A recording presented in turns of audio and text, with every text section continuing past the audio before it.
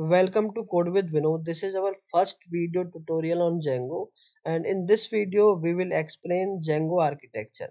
So basically Django follow model view template architecture and in the diagram uh, we will explain the complete uh, request response life cycle.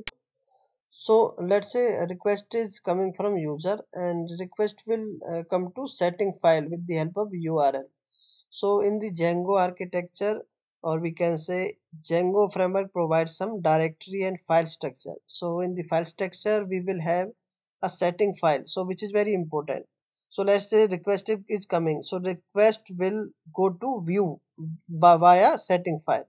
So in the setting file, we will keep some middleware.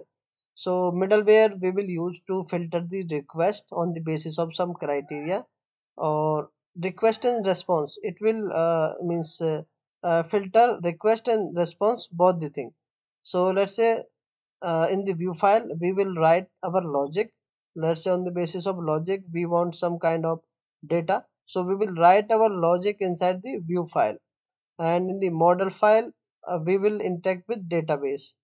And uh, in the temp in the template we will uh, uh, keep our uh, html pages let's say for front end pages so view will interact with model and template. So this is the model view template architecture which django follow.